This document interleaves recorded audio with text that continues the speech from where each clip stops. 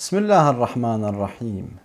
Allah subhanahu wa ta'ala heeft in Surat al-Tawbah heel duidelijk gemaakt wat de eisen zijn om in de ogen van Allah subhanahu wa ta'ala de hoogste rang te hebben.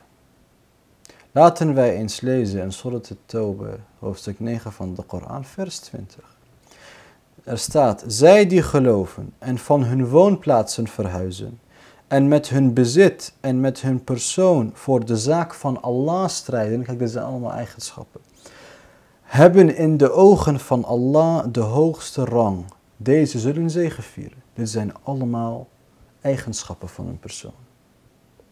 De metgezellen, sommige metgezellen hadden bijvoorbeeld één eigenschap. Nee, er moet een metgezel zijn die al deze eigenschappen had. En enkel en alleen imam Ali salam had deze eigenschappen. En hij zelf heeft dat tegen de metgezellen meerdere malen als bewijs gebruikt. Hij citeerde deze vers en hij gebruikte deze vers als bewijs dat hij de beste is onder de metgezellen. Qua daad is hij het meest loyaal aan de profeet. Er zijn metgezellen geweest die de profeet hebben verlaten. Maar imam Ali salam is de nefs van de profeet, is de ziel van de profeet. Hij laat de profeet nooit met rust.